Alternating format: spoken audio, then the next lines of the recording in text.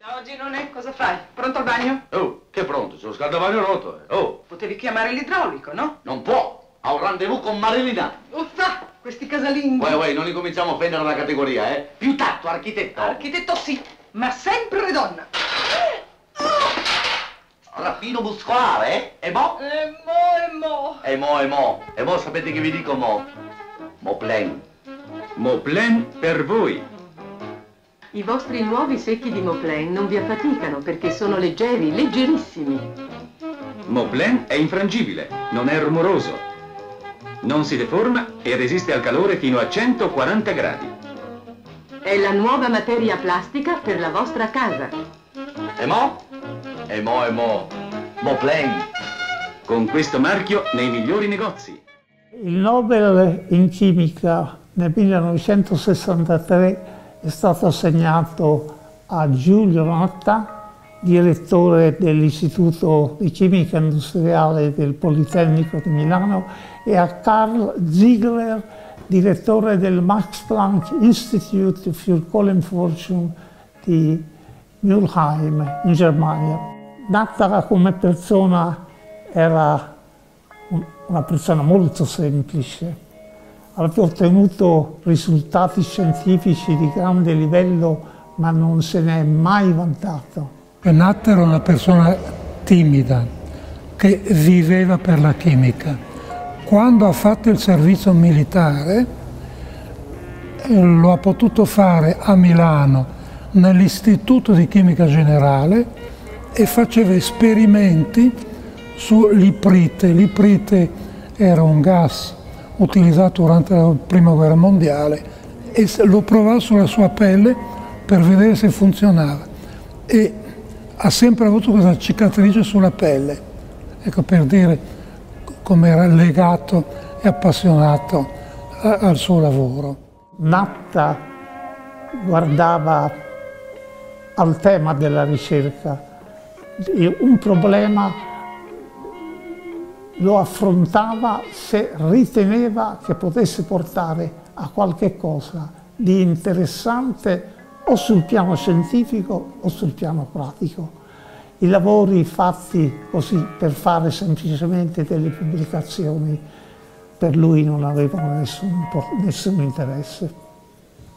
non solo guidava le ricerche che venivano svolte da noi al Politecnico, ma anche ricerche svolte presso varie sedi del CNR in Italia e anche e soprattutto quello che veniva svolto a Terni presso la società che poi ha sviluppato l'impianto industriale e veniva a riferire a lui i risultati, i nuovi catalizzatori e gli sviluppi industriali. Quindi è sempre stato orientato sia sull'attività scientifica ma direttamente applicate a case, alla- alle- agli sviluppi industriali. Dal petrolio il propilene e quindi il polipropilene. Moplen, Meraclon, Meracrin e Moplefan. Tutta una gamma di prodotti che con estrema versatilità si ottengono da un nuovo polimero, la cui scoperta dà prestigio alla scienza e all'industria chimica italiana. Ci possiamo chiedere quali sono stati i motivi alla base di questo successo della chimica italiana. I motivi sono diversi. Primo, l'intuito di Natta, che era certamente un uomo di intuito non comune nel campo chimico naturalmente, L'organizzazione che Natta aveva dato al suo istituto con l'aiuto della Montecatini. Capitò che anche alla Montecatini ci fossero delle persone intelligenti. Uno era l'ingegner Giustiniani che aveva capito che investendo soldi nella ricerca ci sarebbe stato un ritorno. Questo non so se lo capiscono oggi tutti gli industriali. È stato un caso unico per diverse ragioni.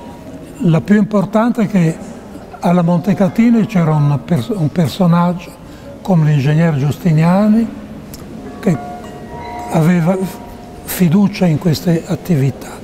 E al Politecnico c'era un, un Natta che aveva le sue capacità. La quasi totalità delle ricerche fatte da Natta sono state pagate da Montecatini in termini di apparecchiature, di mezzi vari, ma anche di, di ricercatori che erano lì mandati da noi.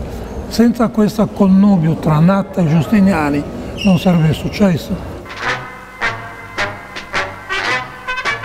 Alla Montecatini spetta il merito di aver valorizzato questa scoperta portandola dal piano scientifico a quello industriale, con la realizzazione di imponenti complessi in Italia e all'estero e cedendo inoltre il brevetto di fabbricazione a numerose società straniere.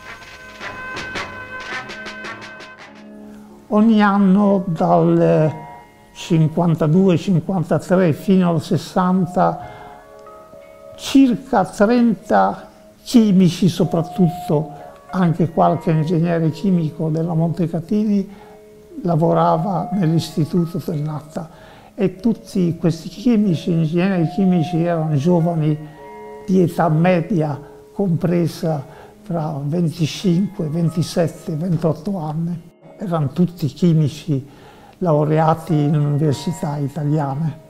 Hanno costituito quella che poi è stata chiamata la scuola di Natta, la scuola con la S maiuscola perché ha formato questi ricercatori in un campo nuovo, quello della polimerizzazione stereospecifica e il premio Nobel gli è stato conferito non tanto e soltanto perché ha fatto il polipropilene, ma perché ha fatto questa scuola.